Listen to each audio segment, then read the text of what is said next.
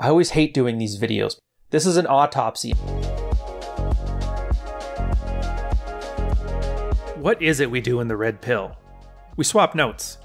Now, I'm sure people have heard all kinds of different stories about us, but I'm here to give you a glimpse inside the locker room. Here, we're going to discuss the field reports that happened a few years back. Brand new guys who are trying to learn the strategies that we talk about. We built a set of working strategies based on the experience of hundreds of thousands of men. Men swapping notes, iron sharpening iron. Welcome to the locker room.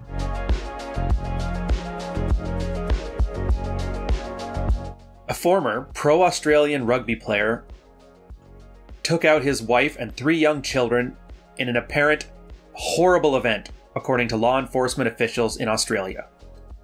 42 year old Rowan Baxter, who played for the New Zealand Warriors in the National Rugby League, was found in his car early Wednesday morning along with his wife, two young daughters, and son.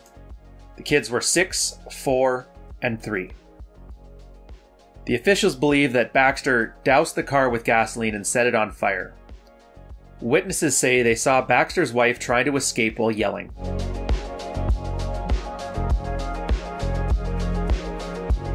Narcissism is a funny thing. So, humans all have it to some extent, and for the most part, the traits of narcissism are masculine traits. The problem comes when they get too far outside of the norm, and that's a situation they call narcissistic personality disorder or antisocial personality disorder.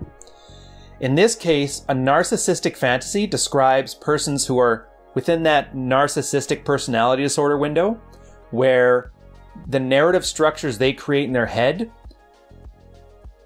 are not tied to reality. Humans think of things as narratives. It's the way we were before we even developed language and were hardwired for it. Everything we think and everything we anchor our decisions to are based on stories. That's why stories are such powerful tools. The problem comes, and for most people with healthy levels of narcissism, what we do is our narratives change based on our situation. So let's take an example like this, a tragic one, but let's dial it down to a normal situation.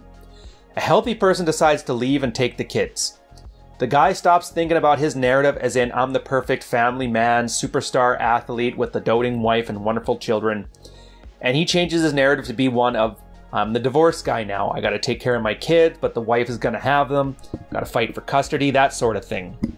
The problem with fantasies, and this is the part that you want to take away from this. When a guy has his ideal fantasy or his narrative structure in his head, and he just expects other people to adhere to it, he stops looking at human beings as separate creatures. He looks at them as if they're extensions of his narrative. If you think of our life like you'd think of a play, this guy most likely looked at his wife and his children not as people or human beings, he looked at them as set pieces. And that's a problem because once you dehumanize people, it allows you to do situations like this, which are absolutely horrible, and yet still keep in your head that he most likely thought he was a good father and this was everybody else's fault. And it's not a healthy way to go through things. And that's for obvious reasons. Consequences aren't the same for men and women. It's not a bug, it's a feature. Back when we were developing our hardwiring that you're using today, the tribes that ended up, and this is Paleolithic and before then, the tribes that used to treat women with less consequence and more protection tended to survive over the years. So it was a personality trait or a mental model that we selected for over the ages. So nowadays, we have an innate bias towards women and against men. And we wouldn't be here today if we didn't have it. So you can sit here and say it's not fair and it's not equal, but I'm not a commie, so I don't really care about that. Whether you like it or not, that's the way people are hardwired, and so you need to act accordingly.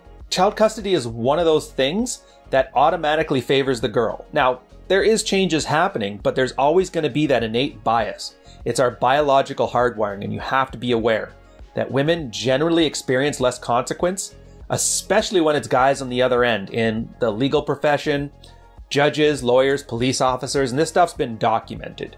They just have the ability to do a lot more things to guys with less consequence than the reciprocal. If you're not able to accept this, and here's the problem if you want to think of things as everybody should be fair and even, well, go back to that narcissistic fantasy I put on earlier and think about the kind of guy who thinks men and women are fair and treated equally. Well, the problem is, in cases like this, and guaranteed he's having a contentious custody battle, or he had one, guaranteed he thought of this same mental model. We're equal, the kids should be equal. She disagreed, and he was most likely having issues with this. This one, this is important. So we already know about narcissistic fantasies, we already know about consequences. Put these things together, most people will end up having some form of pushback from it. Now, there's a difference between narcissistic rage and anger. Anger is a social emotion. You stub your toe, you get hurt. If somebody stubs your toe, you get angry. It's your way of signaling to the person that there's a grievance and they should address it. Narcissistic rage isn't that. It's more limbic brain. It's something almost uncontrollable. Best example I can think of is a two year old having a temper tantrum on the floor. You cannot reason with them, they're not signaling anything, they're just experiencing an immense amount of rage and they just have to express it. That's because children at two years old don't have the cognitive function yet to be able to manage their emotions.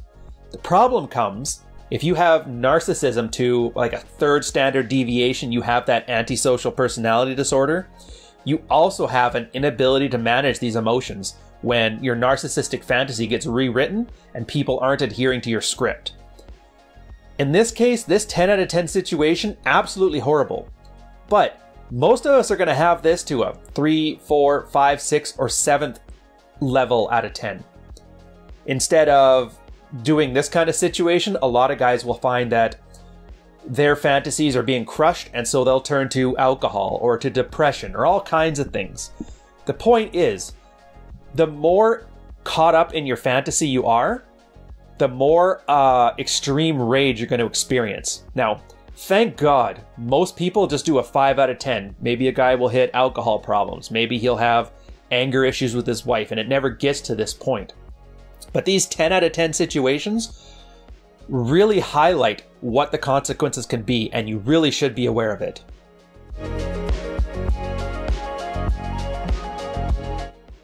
My advice for this guy I don't have advice for this guy. This guy, he's a monster, and there's really nothing you can say to change that. The girl, she may have done a whole bunch of horrible things to him, but at the same time, like, this is where it is. There's nothing we can do to change it now. So, my advice is going to be for the kind of people watching this.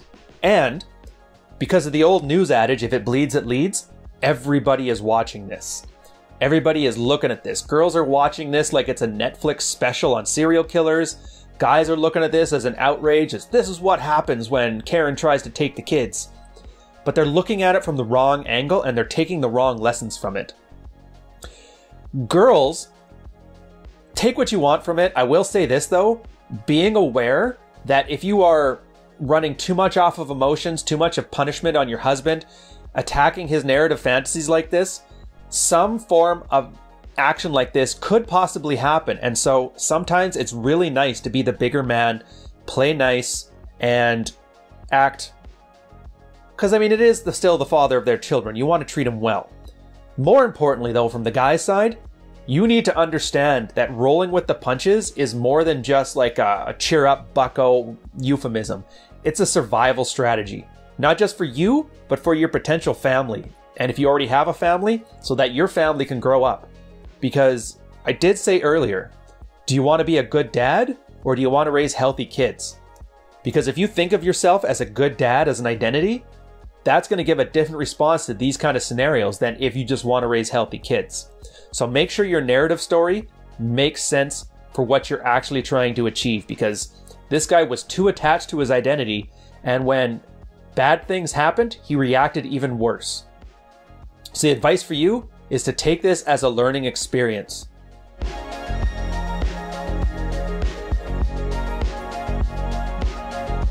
And this ties into what's in it for you.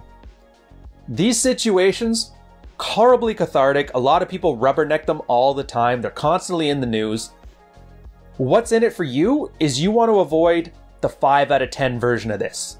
Yes, you're most likely not going to be in the news after your wife leaves you, or if your girlfriend leaves you, or if she takes the kids, tells them all kinds of horrible things about you. You have to, and I'm not going to say something simple like staying stoic. I think this is past stoicism. You need to understand that flexibility is important. Your kids will be fine. Yes, it really sucks when you get to tuck them in every night and when that's taken away from you. But what really sucks more is where that turns you into a monster. So you have to understand whatever happens in life, you'll be fine. Everybody around you will be fine. And to deal with things as they are, not as how you want them to be.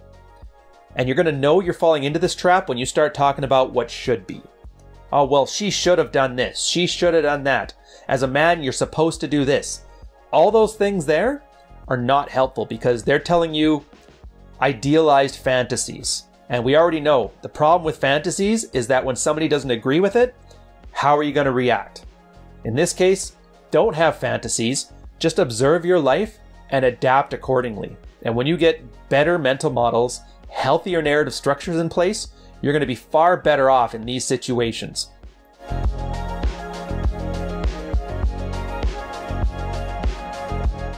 An alternative, I remember I was reading a story about uh, Chris Watts. It was almost exactly like this. It was a few years back. And I think it's a great idea, a great breakdown of what an alternative could look like. In his case, absolutely horrible. He drove his family out there, uh, did one of the most heinous acts possible. He's in court right now, and they're finding so many revelations about what he had done. But the one thing that was neat, and I was doing this during the research of this, his wife's Facebook page was still exposed, and a lot of people were pulling images from it and showing stories. And it showed you the way this stuff kind of progressed. There was at some point about a year before the end of their marriage where the wife started to get in better shape, started to be more active on social media, basically exposing herself to the world, saying, Hey, I'm going to be available soon. Time to go, guys. The father really didn't pay attention to any of this stuff, and then when the divorce was ultimately dropped on him, he had a year of preparation, had to happen in an instant, and he was totally unprepared for this. So what he thought is he had the perfect family life who had troubles and then things were getting better. Meanwhile, her narrative was, I'm getting ready to leave him, but I want to make sure that I'm happy when I do.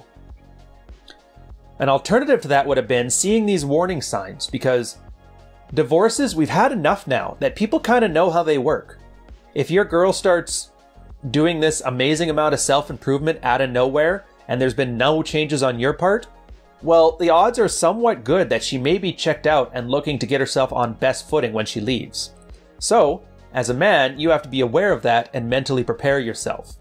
If you're not mentally prepared, that 12 months down the line, when paperwork gets dropped, the family gets taken away, you aren't in a position to show the courts, hey, I'm a really good father because you're documenting your child care or you set up whatever you need to do in order to be okay with whatever happens next.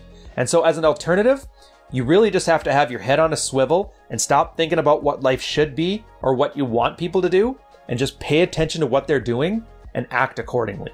I will end here and I always hate doing these videos because every time I do, people are in the chat and they don't listen. They keep saying, How can you defend this monster? He did this, he did that. The Johnny Depp video is horrible from it. I need to say this and make it explicitly clear. I'm not here to defend somebody who does horrible acts like this. I'm here to use this to understand how we can benefit as a human species by looking at these examples and making sure that the people around us never end up in those circumstances. This is an autopsy, and for all intents and purposes, if you're not learning from it and you're just looking at it with some emotional rage or cathartic feelings of validation of whatever your fantasies are, well, then that's something you need to look into. But on that note, I'm going to leave you guys to it. Take care.